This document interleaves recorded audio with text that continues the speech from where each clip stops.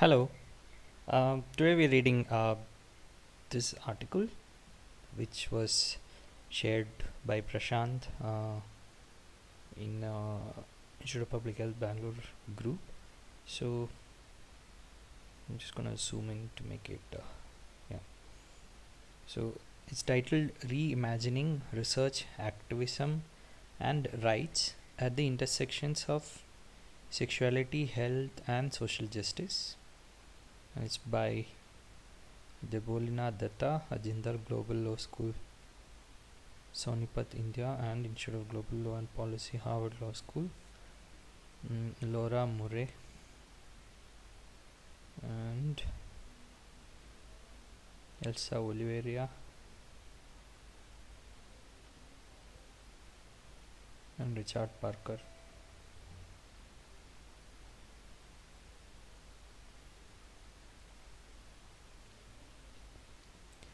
So, um, firstly, I'm just assuming that this is open access, but the, the I mean, they have not given the actual license for this article, uh, and therefore, I'm not able to confirm whether it is a Creative Commons license article or not.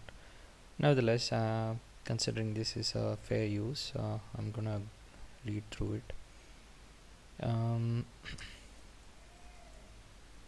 it's jumping. The COVID 19 pandemic inaugurated a new global order of public life and health marked my death, despair, and alienation. As a crisis of global scale, it made the task of reimagination simultaneously necessary and extremely difficult. Mm. Okay, uh, to to be very honest, uh, the reason I started making a video with this is because uh, I tried reading this on my phone a couple of times and uh, it was it was so difficult to read uh, uh, it is not light read. So um, and uh, I think now it kind of makes sense that uh, it's not a difficult read. Okay I will comment about that later but basically they're talking about this is the abstract. So abstract is gonna be a bit meaningless I think in this article. Mm, it's an introductory article uh, in that uh, journal. Uh, in the journal of um, global public health. So as a crisis of global scale it made a task of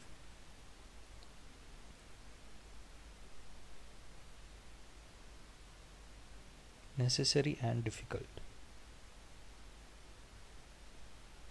it is the, the it is this double bind of the difficulty and imminence of imagination and motivates the curation of this special issue. In this introduction, we map the connections between the themes of this volume and the key ideas that constitute its varied contributions, which are organized under three broad mobilizing ideas. So, uh, rights and resilience, sexuality, health and justice, and politics of knowledge production and collaboration rights and resilience, sexuality, health, and justice, and contributions cover myriad issues, engaging methodological innovations, and play with diverse genres. Genres, all alongside more traditional academic writings, are community-based research papers, activist conversations, virtual essays, reflective pieces, and interviews. The geographical span of the contributions brings insights from around the world, and the number of topics covered in this issue are equally vast, including, among others, mental health, disability, environment, sex work, violence, queerness, LGBTQ plus experiences, love and anger. The aim of this special issue then is to challenge the Mani whatever this is. Manichian. Manikian. Manikian. Okay, it's not in the dictionary either. Let's try our search. A believer in a syncretic religious dualism. Manichaean distinctions are often drawn between research and activism, and by extension between theory and practice. Okay, so this is the most important, I guess, uh, um, sentence of the whole abstract. This issue is to challenge the binary view that activism is separate from research and that um, uh, theory is separate from practice. Uh, and this was the context in which it was shared also.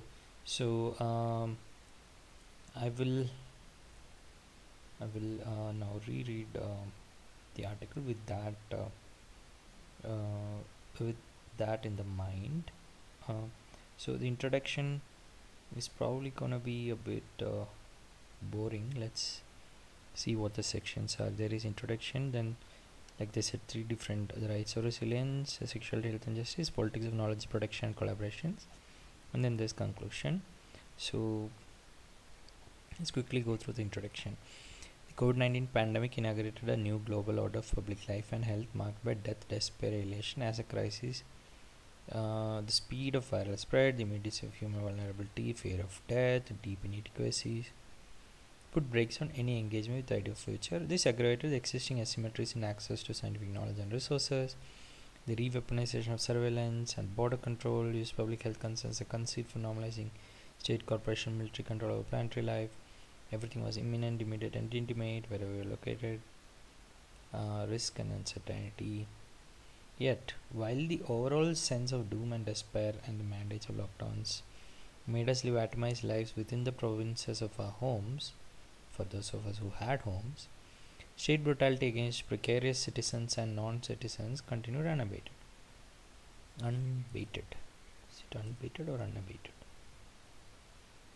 I think uh, this journal doesn't do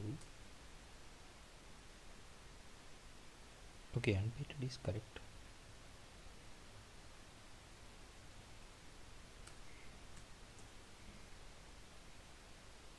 Unabated means without reduction in intensity or strength. Unbaited means not abated. Okay maybe it's another spelling. Uh, one second let let me see if this dictionary works for any word. Okay it doesn't work for any word is it? Huh it works for some words. Okay so this dictionary is not very good. Uh, in India we saw millions of daily wage laborers walk thousands of miles to return to their villages from large cities. Many died uh, completely uncared for by the state who managed to reach destination were treated as vectors and were sanitized with toxic sprays. Similar neglect and brutality were seen in South Africa. Uh, civilians. Uh, instances of police violence against civilians rose dramatically during initial lockdown, particularly against most marginalized. Uh,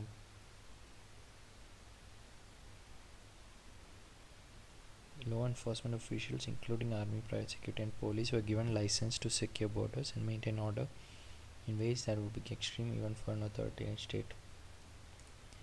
A catastrophic combination of denialism, corruption, finger pointing, and political maneuvering was seen in Brazil during the pandemic.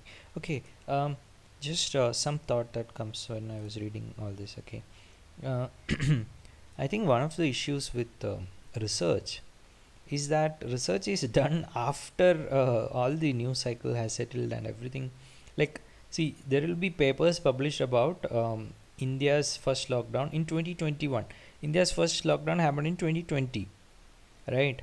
The paper comes in 2021 now how how is that going to affect anyone? Nobody reads those papers going mm, um, you know uh, about the past. And even if they read they don't uh, use it to change their behavior in the future so i think the difference between research and activism comes from this time uh, criticality of uh, when activism needs is needed and when research can happen because of the practical limitations of research. Uh, but that's just my thought. I'll just keep it to myself for now. Uh, um, law enforcement officials um, including army, private security, and police, were given license to secure borders, maintain order in ways that would be extreme even for third state. Um, denialism, corruption, finger pointing, political maneuvering in Brazil. This led to pandemic response founded in conspiracy theories and allied friendly economic policies, which led to soaring deaths, hospital collapses, calamity that primarily affected countries' poor black and indigenous populations, and in the US, thousands braved infection to take to streets to protest injustice of killing George Floyd. Uh, in all these contexts, mutual aid groups demonstrate what kind of social justice work can be done by communities in the face of complete state apathy. These scenes of human resilience were powerful indications that holding on to the future was a necessary ethical imperative. It is this double bind of the impossibility and imminence of imagination that motivates. Okay, uh, suddenly they've jumped to um, impossibility imagination. Uh, I'm not exactly sure what is the new imagination that's required uh, in uh, because of COVID. I mean, uh, uh, what has become um, different during COVID? It, it's yeah, yeah, a lot of things have become exposed and public and obvious, but uh, uh, it's not like a new imagination is required just because of COVID or just during COVID. Mm, but nonetheless, let's uh, just uh, assume that uh, for for the sake of discussion, it needs to be stated in that way. Now, as scholar activists working in the area of sexuality, rights, and health from very disciplined, we were able to see the shared challenges in the event of pandemic posed our lives and work of imagination. Existing theoretical and activist tools that we are trained to use to understand and sometimes transform our world seemed woefully inadequate. What would participatory research mean when we were unable to participate? What might care mean when we are not able to hold each other? What might solidarity mean when our bodies have become the fault lines that fracture moments? Um, what do we live and death when it is the order of the day?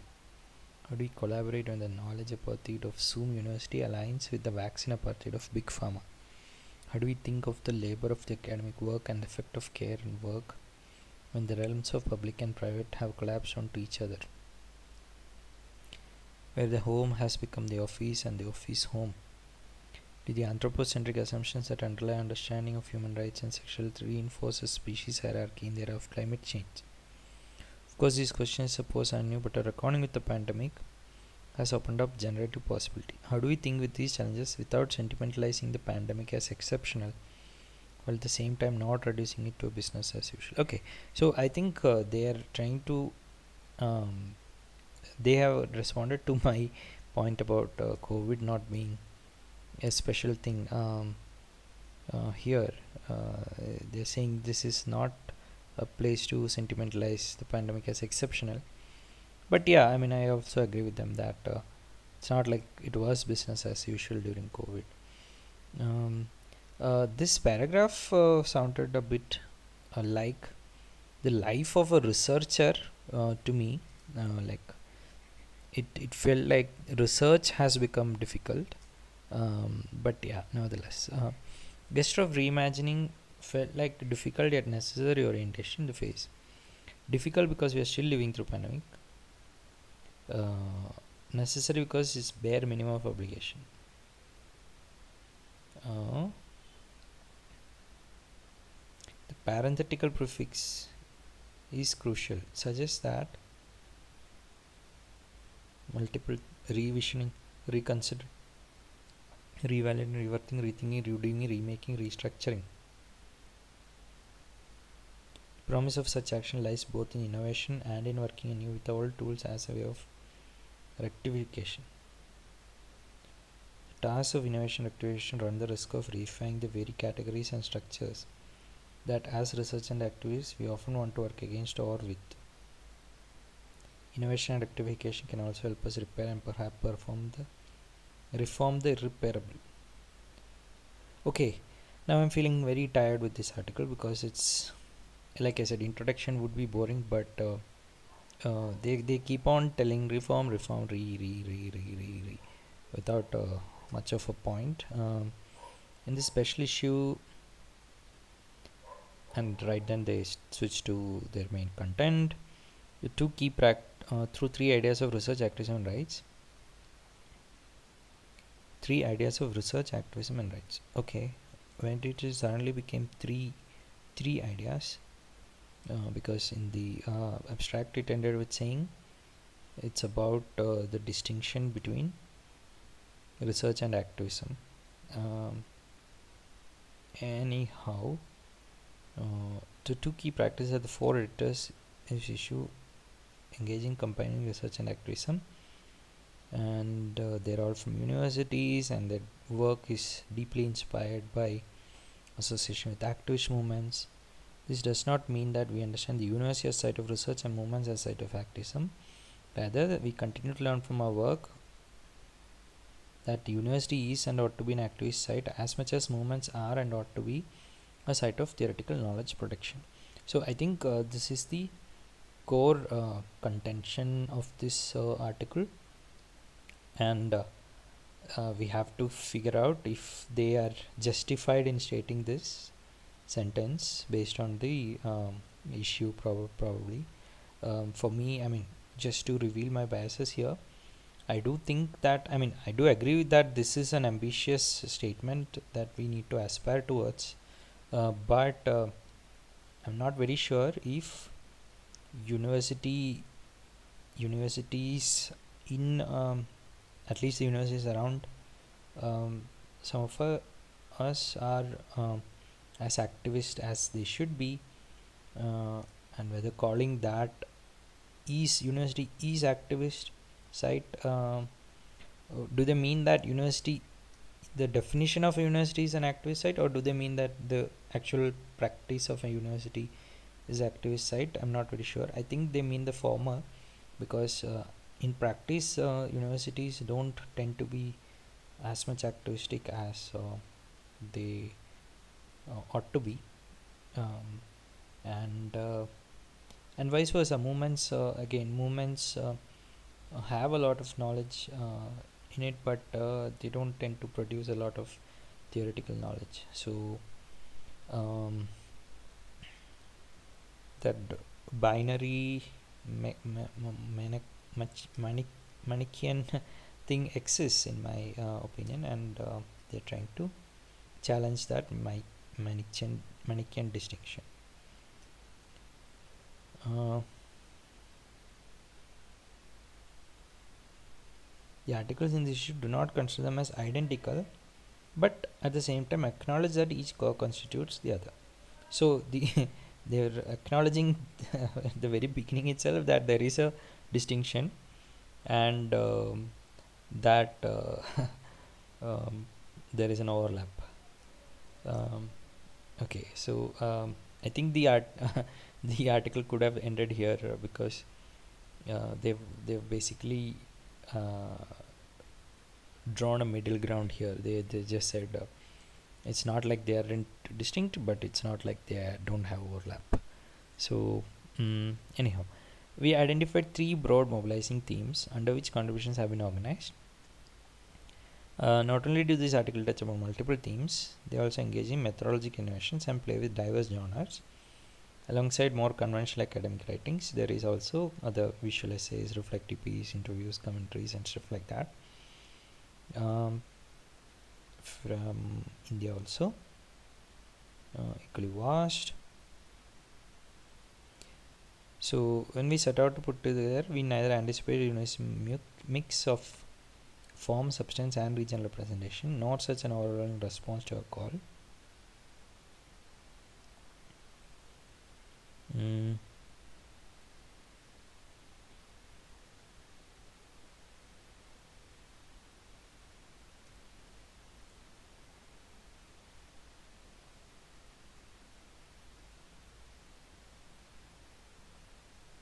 this is interesting because um, they've they've they have possibly captured the lives of many uh, li- the, lived experience of many uh, many people uh, in uh, Europe and uh, Panama I suppose. In Panama. Mm. okay so rights. Rights is the first thing rights and resilience the meeting point between research and activism for all of us as editors and our contributors is rights. Okay so um, that's where the third uh, theme i mean the third point of rights come from. Our view of rights is multifaceted and this has this was also very much reflected in the contributions. As a standard understanding goes rights arise from an individual or collective claim against a state or pro-state authority proto-state authority which is accountable for protecting it. Um, okay uh, i do have a thought that comes up about this. Because see um, activism is about rights. That i can agree with. Because what what can an activist say? The activist can only stand up and say you are either violating my right or you can say you you um you need to give me this right. Something like that. Activists can demand for rights. But research um, i always see research as having some commitment to knowledge.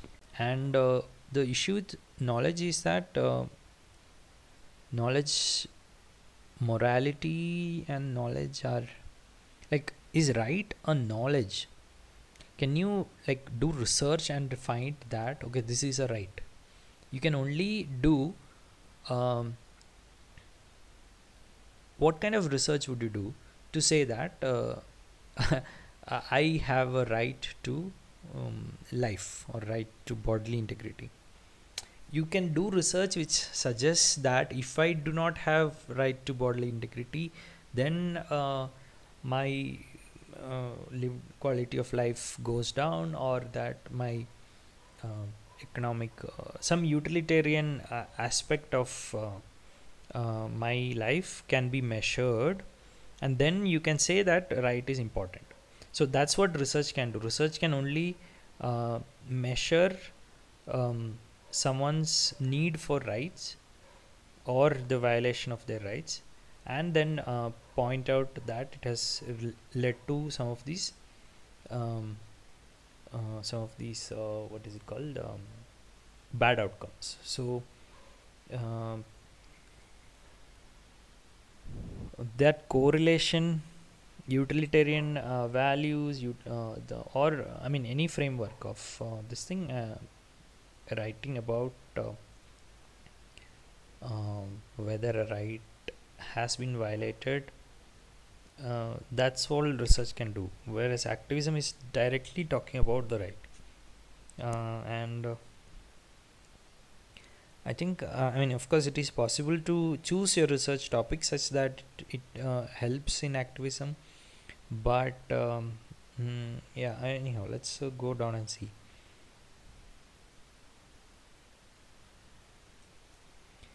Um,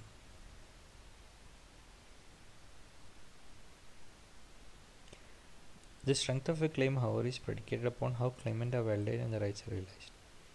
Lais Wondros, okay, I don't know how to pronounce this name, and Lorraine Nencel tell us how male sex workers in Kenya paved the way for the realization of their rights through community-led advocacy efforts and when sensitization of law enforcement officials. Um,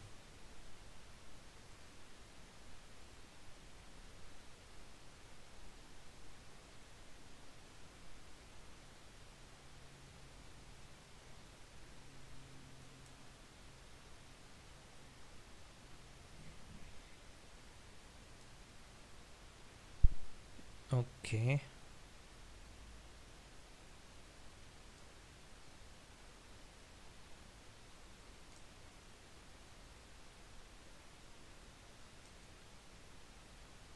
Um, okay, um, okay. I, I don't, so I've been reading these sentences, I'm, I'm struggling to um, connect these two uh, okay uh, so one thing is uh, these are all different people have written different papers based on a call that was made. So they're just trying to group them together. It's not like they'll all be connected to the point that was laid out in introduction. And therefore uh, there's no need to try to fit all of these into the framework that they already laid out. Uh, so we might have to look at the articles individually. Um, and then the individual articles might get uh, might give a different sense also. Mm.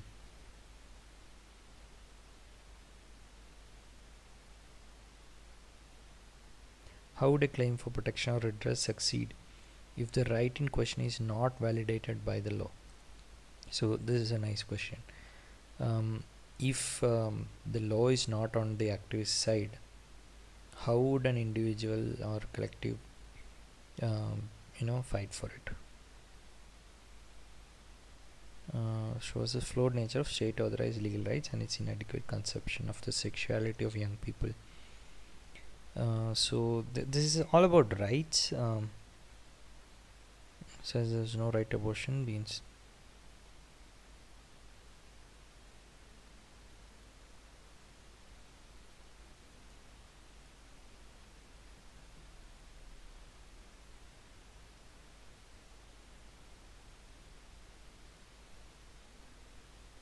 state did not consider that claim to be valid because it did not recognize through law that sex work is a legitimate form of work. Mm, due to such state authorized discriminations, both abortion and sex work remain an especially fertile uh, ground for rights question and contestation of citizenship.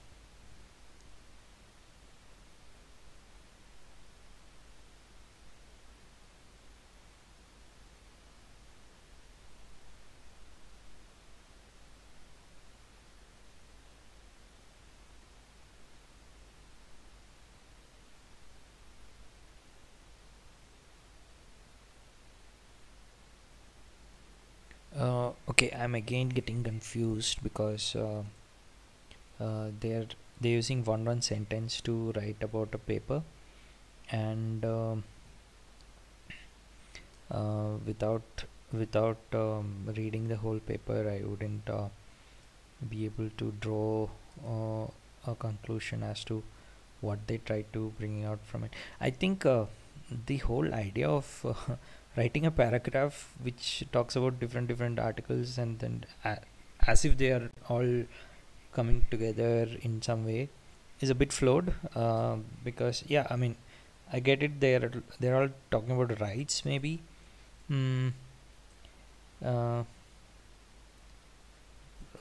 but uh, it doesn't feel very natural to me it would have it would have been better uh, stated as a list of uh, articles. You give a title called rights and list down the articles uh, one by one by one. So, um, I mean, yeah, they're all talking about rights. Then put a title and put them as rights. It doesn't. It doesn't make a lot of sense to give a uh, give a whole context and uh, point make as if it's making a big point to state it and then not making a point as such. I mean i don't know. See why why do i say it's not making a point as such? Some of these things uh, i mean most of these things i would just count as activism. Um, see in other instance concert claims by sex workers movements in india and south africa where those involved sex industry have been demanding right to sex work but until recently the state did not consider that claim to be valid because it did not recognize through law that sex work is a legitimate form of work. Where is the research here I mean, it's all activism, right? Is is it the fact that someone wrote about it that makes it research? Um, I'm not really sure. Um, uh, so I mean, let's see if they resolve this issue later on.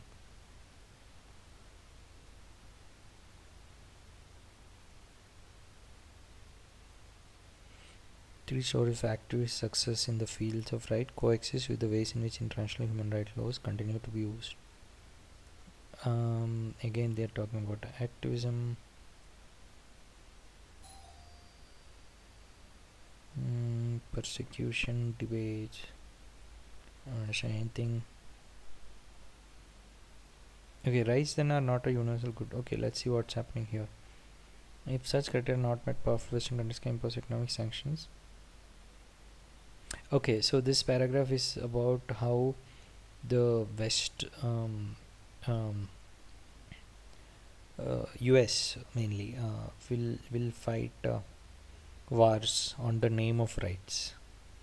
So that's what they mean by rights are not a universal good. Um, there's a reimagination of relationship between research and activism that produces a system about the double bind of rights okay okay. Now they're trying to make a point. Uh, they simultaneously regulate and emancipate. Their promises and betrayals are contingent upon historical context. And marginalized rights claimants and activists who work with subaltern groups are most cognizant of this paradox as also evidenced in the contributions in this issue. It is a reimagination of the relationship between research and activism that produces this wisdom about the double bind of rights. Yeah what they're saying is if it was not for research uh, this wisdom wouldn't have been there. Activists are challenging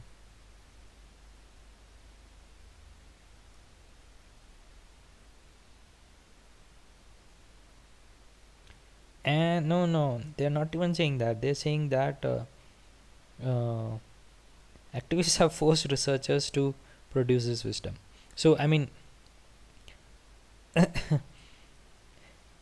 not only are they not they not only are they admitting that the wisdom came from activism um, they're also saying that uh, it is a reimagination of the relationship. So they're still thinking that uh, it's only when researchers took it did it become wisdom. Um, i think i mean i'm just being uh, adversarial here. Uh, it's not probably what the authors meant or anything. But uh, writing about sex work in South Africa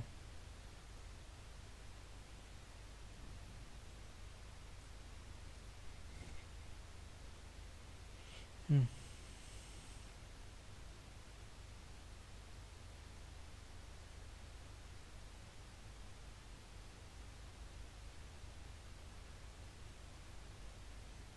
Even activist practice risks getting depolitized through NGOization and philanthrocapitalism.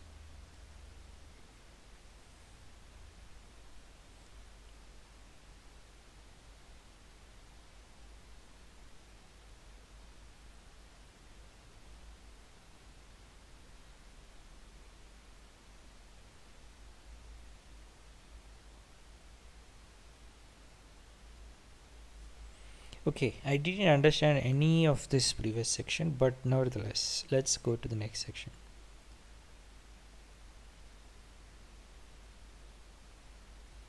We locate our project of reimagination at the intersection of sexuality health and social justice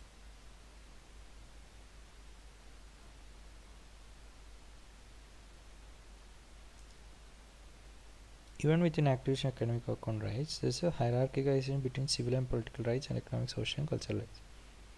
In this hierarchy, civil and political rights are considered of great importance, uh, and economic, social, and cultural rights need to be realized progressively based on capacity. Even within the field of reproductive rights, such hierarchies and dichotomies exist.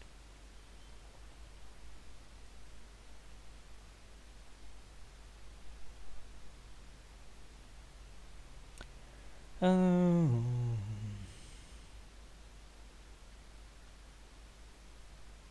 okay, maybe I'm trying, maybe I'm getting what they're saying. So I think um, activism is uh, seen as a mindless, thoughtless activity in this uh, whole uh, approach or framework, and research is seen as a very intellectual um, kind of um, bringing insights and wisdoms into uh, words and into people's minds um, and that is the dichotomy they draw on to uh, kind of um, uh, to kind of um, justify the lack of such i mean to kind of justify the writing against such a dichotomy so i think i mean in in my mind at least the dichotomy didn't exist uh, the dichotomy was only between activists uh, who, are on the field i mean activists the dichotomy is only between activist scholars and useless university scholars and uh, there is no dichotomy between um, scholarship and activism. Activism is scholarship, and scholarship, uh, true scholarship, is uh, impossible without activism. Uh, but there is a dichotomy between university scholarship and uh, and uh, activist scholarship. So that dichotomy uh, is probably what needs to be dismantled. I mean that's a dichotomy I was speaking against also. Uh, hmm.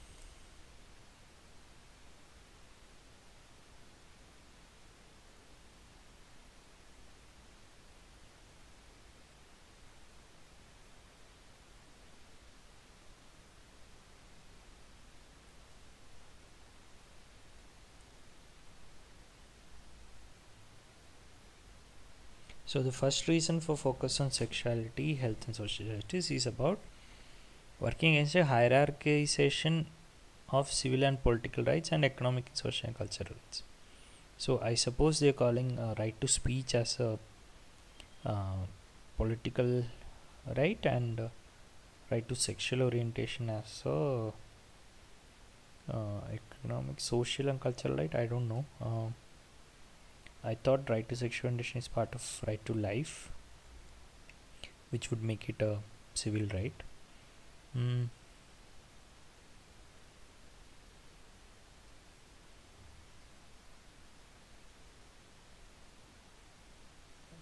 Second reason for this focus, particularly on sexuality, is about the way in which research, activism, human rights have historically considered sexuality to be unimportant or frivolous in comparison to issues like race and class. To some, sexuality may seem to be an unimportant topic.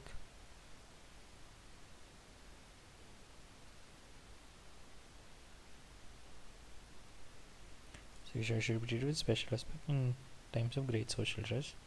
Yeah, I mean, um, if people don't think that uh, um, patriarchy or um, heteronormativity or uh, uh, gendered um, gendered expectations from people and sexual um, uh, is sexuality really what what do you mean by sexuality here mm.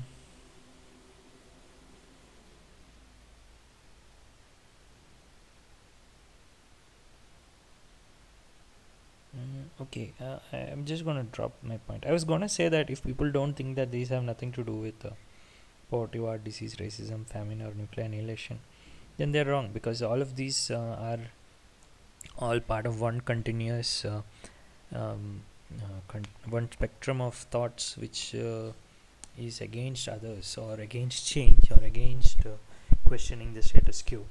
So uh, i mean uh, in that way they're all connected mm. We know from history challenges that rising sexuality question had posed to labor rights movement to feminist movement to collect demands for land rights rights to health and healthcare to asylum uh, but this issue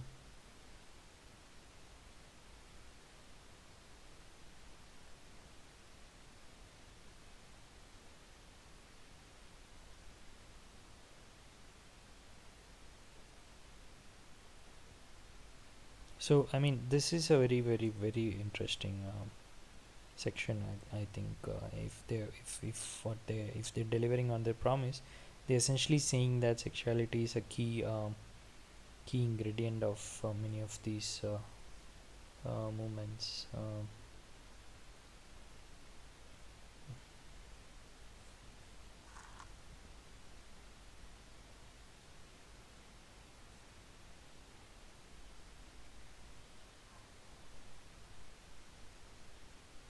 This is particularly the case with the shared ideal, shared commitment to carcerality. Hope the dictionary tells me what it is. Carcerality, incarceration, jail. Okay, so jail and criminalization. Mm.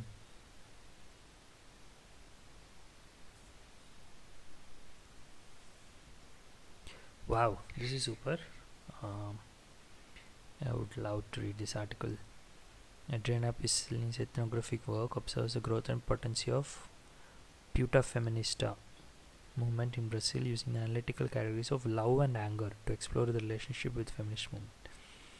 Having um, having been looking at love and anger, I love to read this article. mm.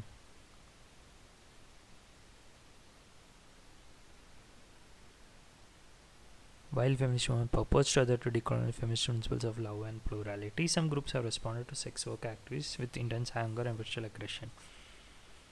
Um,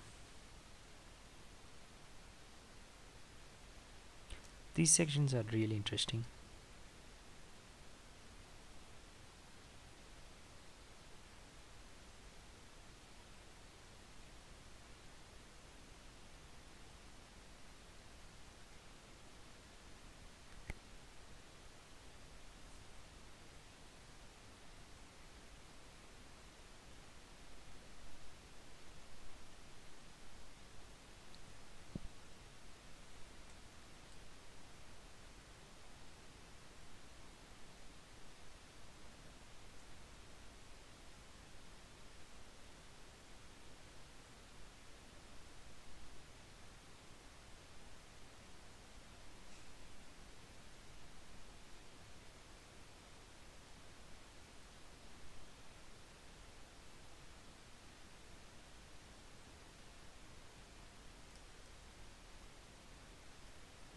Of social justice that takes both the structural and the effective seriously. Okay, this is uh, not a very good article for the video because there's a lot going on. Every word is a is, uh, is is packed with meaning. So, mm, but nevertheless, uh, now that I've started, I'll finish the video. Uh, but uh, essentially, they're uh, now talking about a different dichotomy of public and private. Mm.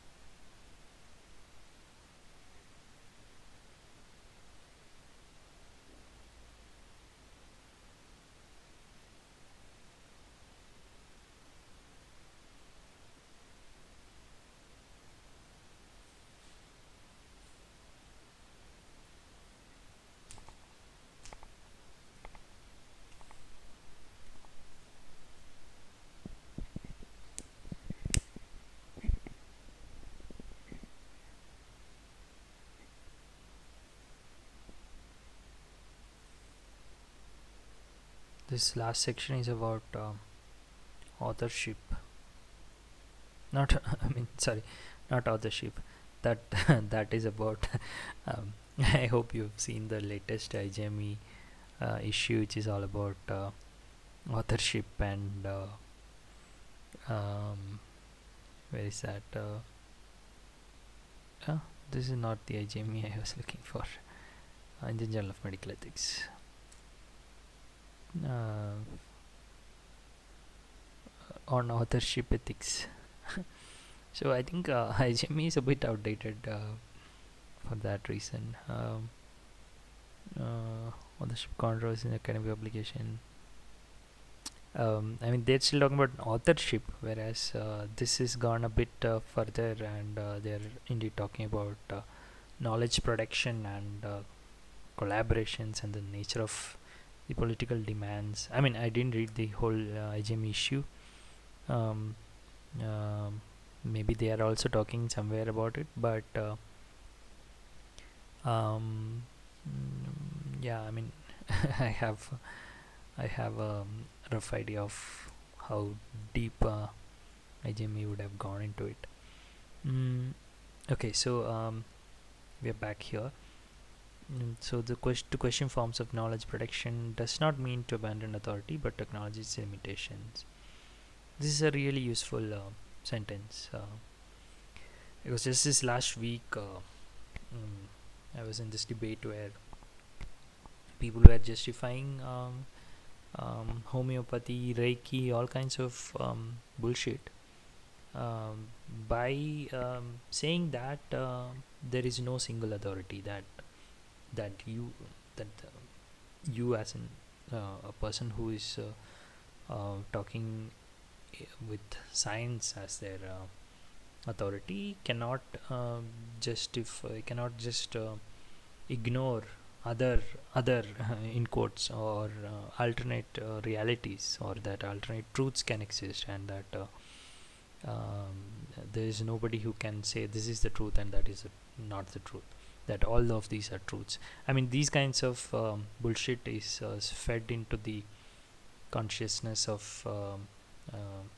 susceptible uh, individuals uh, who have the humility to accept uh, um, the the that there are other uh, there that there are multiple ways of looking at things but who do not have the confidence to clearly call out bullshit when they see bullshit. So uh, those people get uh, trapped in this uh, situation where uh, you can uh, you can see that something is not right but you're not able to you're you're forced to justify that as a possible alternative interpretation.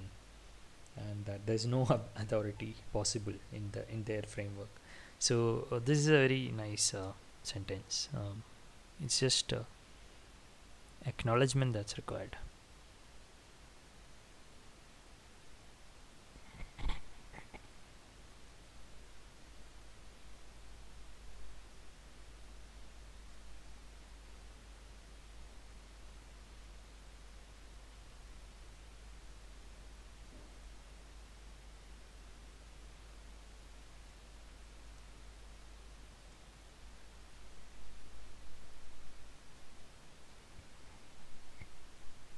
was to cultivate an editorial practice that took the contribution on its own terms rather than imposing the terms of academic scholarship on it.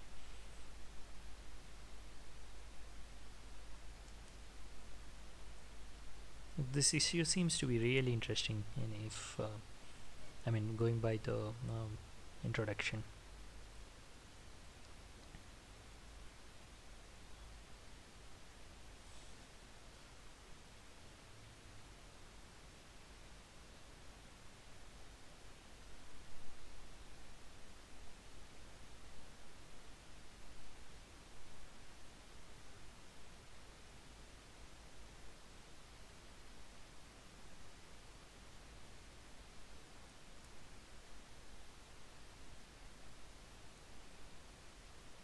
Saunders argues for the inclusion of sex workers' knowledge about injustice that is produced through their activism into the conceptual frameworks used in academic research. Now, the question should be like if these are not included already in academic research conceptual frameworks, then what are these frameworks trying to do? I mean, shouldn't these frameworks be dismantled by now already? Uh, I mean, uh, it's obvious if you look at it from an outside perspective, but uh, uh, but yeah, I mean, it's a sad reality of academic research. Five collaborative research between six researchers. Uh, and another point I wanted to make here um, is see conceptual frameworks. The problem with conceptual framework is that you want to try to categorize things. And you want to draw neat little figures and square, uh, you know, boxes and put things into uh, different uh, in a in a symmetric uh, kind of framework.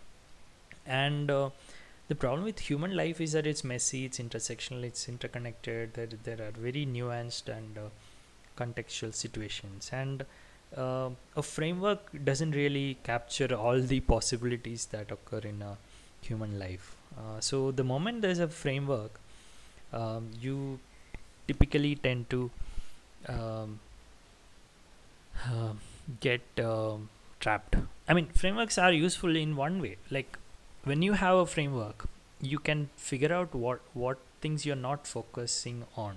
Like uh, the framework helps you uncover or discover new things.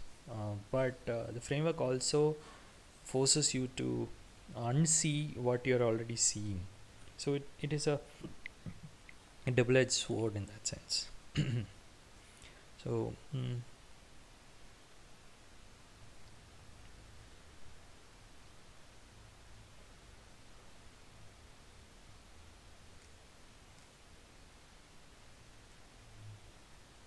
very interesting. So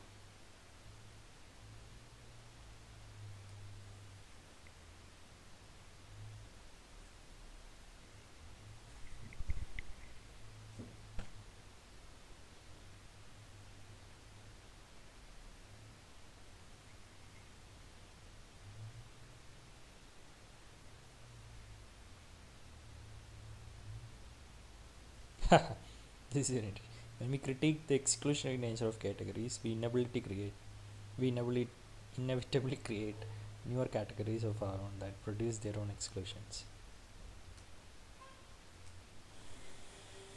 Depending on context these very critical traditions may sometimes be in conversation and at other times in conflict. Collaborative critical knowledge production will then always remain a site of struggle and reimagination but undoubtedly this work of reimagination is generative struggle when done as a collaborative activity can be an opportunity for new learnings and shifting horizons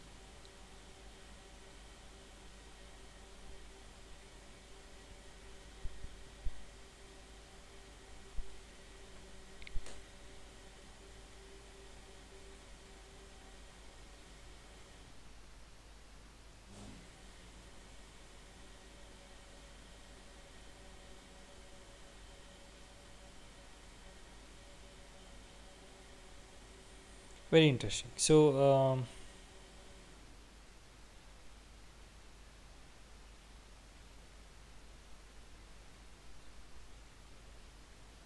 oh wow. This is a very interesting note because we just wrote a similar note in a similar article i mean uh, not a similar article in a in another article. I have to share this with someone uh, copy that uh,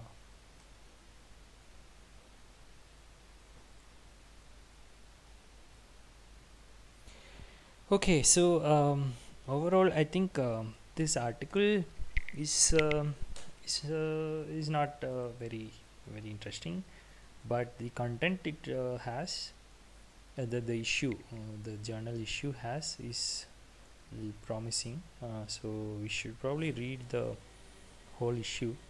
Um, i don't know how they would have published all of these other things um, uh, what uh, is his latest article? How do i go to that issue? Uh, let me try going back. Um, uh, this is 12th august 2022 um, how do we go to that issue? Hmm.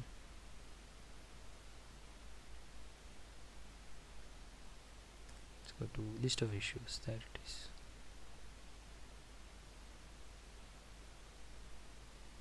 recent issue current issue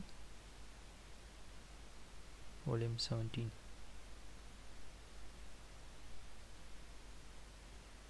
this is uh,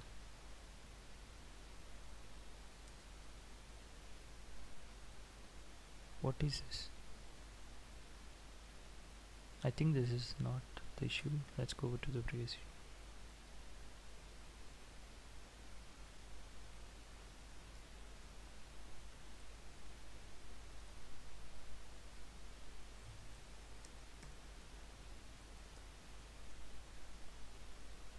yeah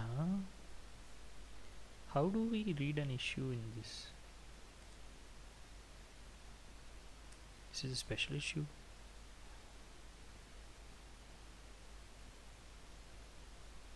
Politics and pandemics.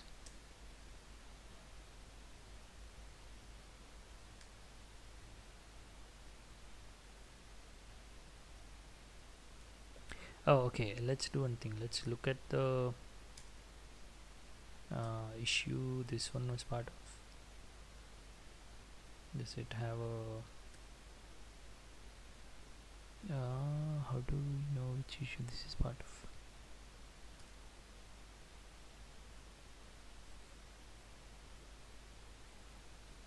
Okay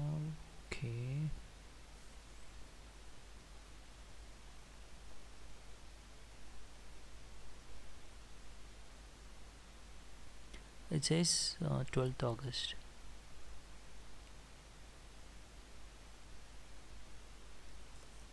Okay this is in the latest articles section so maybe this is the next issue.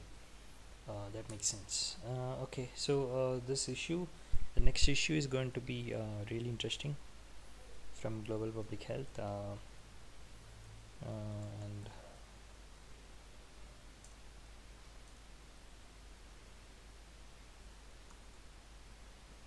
see there's a reimagining research activism and all. Uh, the number of views seem to be rather low 193 I don't know. Um, maybe later on it will increase. Uh, okay. Thank you so much. Um, maybe uh, that makes sense. Maybe that doesn't make sense but uh, it's been too long now. Bye